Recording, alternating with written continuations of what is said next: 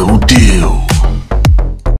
Hey guys, really excited today's video. Today we are going to be taking down Bommal level 50 hard. This is the first time that I've managed to do it. Um, I did try a lot of solo comps and I could just not get them to work. And I've got good gear, you know. I was, you know, I had like 80k HP, 260 speed, 3k defense, and I could still not get it to work. And it was driving me absolutely mental. You know, you do like these 15, 20 minute runs, and then you just like fall at the last hurdle, and then you're just absolutely raging. And you know, I spent hours trying to get it to work, and it was just not happening for me. So it's not. I've got accessible champions. I'm not going to say it's free to play friendly, but there's there are um, lots of fusion champions. Well, there's a fusion champion in there and stuff. So let's just get straight into the video, and hopefully this will help you take down Bommal. And we're back. Sorry guys, had to just wet my hair. It was really poofy, and it was just driving me mad. So I just had to sort that out quickly.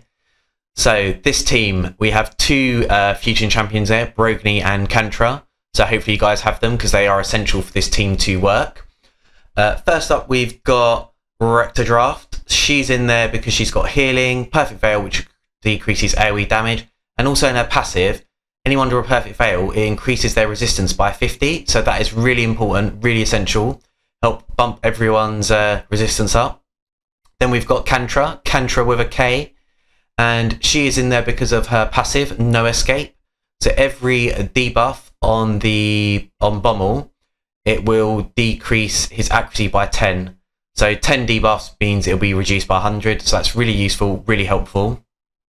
Um, she also on her a2 has a chance. She throws out random debuffs but she might throw out decrease accuracy as well so we really need that to help uh, stop Bommal from getting his debuffs on us Next up, we have Brogni. So Brogni is pretty much he's in there for two reasons. One, he has a resistance aura for the Doom Tower of 60, but also his shield. So his shield can't be removed, can't be stripped, and also it provides us with healing, survivability, and also it reflects damage back to Bommal. So it's really helping us speed up the run and taking him out. Vogoth, oh Vogoth. Um, Unfortunately, I don't have two Vogoths. Uh, when Vogoth first came out, I didn't really understand his abilities, so I thought he was a bit overrated, and I fed like four of them. So I really regret that. So don't be a noob like me, and keep your Vogoths. They are really good. Um, and he's purely you just build him, stack him with HP, immortal set, whatever, and he will um, just he just pumps out healing and will keep your team alive. And then we've got Geomancer. So Geomancer is throwing out a HP burn and keeping your well basically he's just doing a lot of damage to Bommal. And I'm just gonna pause it. So uh, wait. Just before we start taking out Bommal, just to talk you through the main reason that we may fail. And that is because of Brogni and Rectodraft. So even though their buffs are really useful, they can work against you. So what Bommal will do is on his A3, he will uh, strip all your buffs and replace for each buff you have, he will replace it with a bomb. Um, so you end up living three or five bombs on you, and boom, blows up your whole team, and that's it. You just wipe. And the other reason is that Bommal does a lot of damage. So if he kills too many of your team, or he takes a right to draft, then you've got no one to revive, and that's it. Game over. You'll just just lose. So I'm just going to manual the first part. So we just I just manual the first part and basically I just make sure that I don't put any buffs out because he uses his A3 first, which is the remove buffs and replace with all bombs.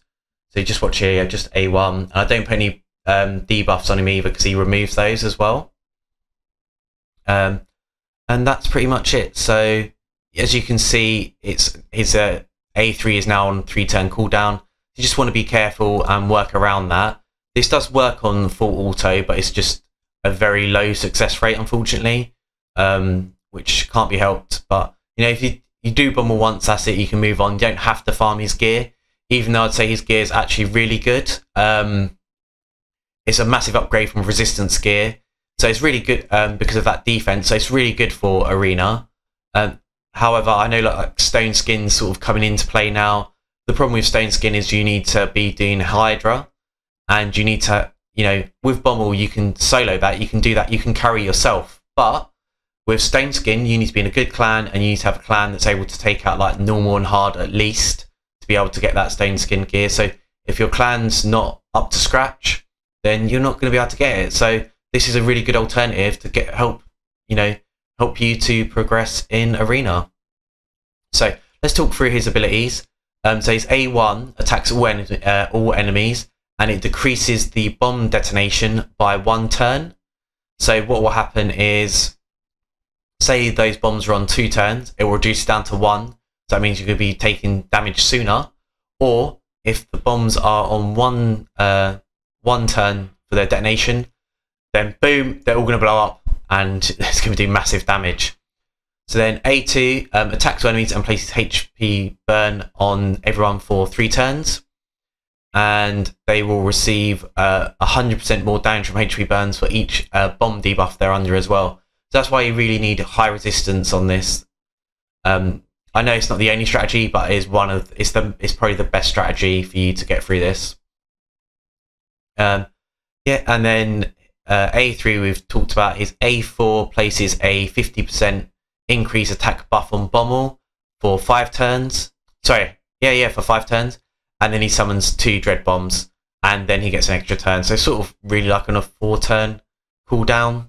But yeah, and yeah, and basically that is also part of his. Um, basically, if you decrease his turn meter, um, he will um, put a put out a Dread Bomb for each time you decrease his turn meter. So just coming to the end now. Um, and yeah, just coming to the end, and he will die any moment now. So it's a pretty fast run as well. Um, you know, I, I found that when you do solo runs, you're looking at 15, 20 minute run times, which is pretty long. But this is only sort of like a seven minute, eight minute run, so pretty fast. Uppercut, bitch! There we go, boys. Sit down. There we go. Take out Bommal. So, as you can see, Rector Draft 1.2 million healing. What a babe. Uh, Vogoth 600k healing as well. Absolutely insane. And then Brogni, you know, 400k healing, 400k shields. Absolute carry. And then Geomancer 2.1 million damage. I didn't even realize he was pumping out the numbers. But yeah, our boy, the Garden Gnome, he's doing work. So let's have a look at the look at let's have a look at their gear. So first up, we've got Margel Margel Kantra. Uh, she is uh, I'd actually completely re-gear her. Um, I would say either triple perception with uh, you want resistance substats and speed and resistance on chest and the banner, um, or you could go triple uh, triple resistance set and then accuracy on the chest or banner. But you know, or you could just go full resistance, full resistance gear, and resistance on your chest and banner. And that would probably be for most of the champions, not all of them, but most of them. Uh, the only person I'd say is probably I would do that for Brogni and uh, Rex Draft. Um, yeah, we'll talk through the other champions in a moment. And let's have a look at the total stats. So, uh, 50k HP, 3k defense, 235 speed, and then resistance 414 for floor 50. Um, 500 plus is what you want to be looking for. Um, 300 accuracy is actually fine even for the hardest floor. On the hardest floor, you'd probably want about, I would say, 700 resistance. So Brogni up next. So he's in a Guardian set, but once again, probably could replace that for all uh, resistance gear. In fact, he doesn't need any accuracy. So yeah, so him in full resistance gear, uh, resistance on the chest and banner, and then I'd say HP on the gloves, possibly HP on the boots if you can get it. If not, speed's fine as well. So total stats, 85k HP, uh, 2.2k defense, 235 speed, and then resistance is really low. Um, like I said, I'd really like to push that up a lot higher, sort of 500 or 700 for the hardest. Accuracy, not important for this. Uh, masteries, this needs a complete rework. So, actually, no, no, this is okay. This is okay, actually. And what I would do is get, take uh, the retribution and then come down to unshakable. Yeah, the reason you want this is um, because you want to increase the value of his shields and you also want to increase his healing. Yeah, he doesn't cast heals, so that's fine. Yeah, but anything that's going to reduce damage to us as well, we want to be taking. And then Retribution, we're not taking it because of the counter attack. It's more of that we just want to be able to get that unshakable. Next up, we've got, let's see, Geomancer. So these masteries are perfectly fine. That's what we want for him because he's going to be doing damage. Um, resistance, we don't really care on him because he is just be doing damage and he'll be getting resurrections from Rector Draft and also Brock needs to be keeping alive with his shield. So accuracy needs to go up a little bit, one is sort of around 300. But I've got him nice and tanky, um, 50k HP, 2.5 defense, and then 202 speed. Um, I've currently got him in a life set, but looking at this, I could actually and perception, sorry.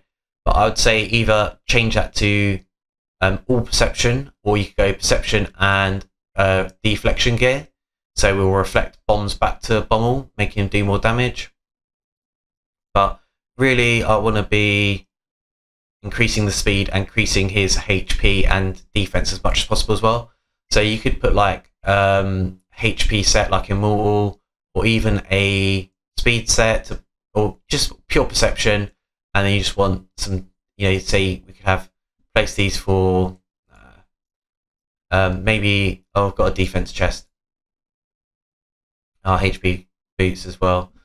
Uh, mm, yeah, maybe I would put like a, or maybe from his jewelry, could put some defense ring on there. Yeah, I could probably replace that ring for a defense one. Maybe replace the chest for defense as well. Yeah, so then we've got Rector Draft. Um, yeah, she needs some work as well, unfortunately.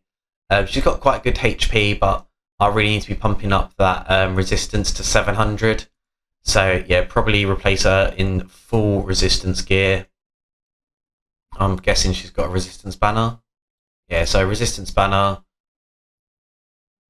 Yeah, replace that HP chest for a resistance one. And yeah, so got a bit of speed and HP. But yeah, 60k HP, 2.6 defense, 225 speed, but really needs some more resistance. Don't worry about accuracy, we're not using her for that.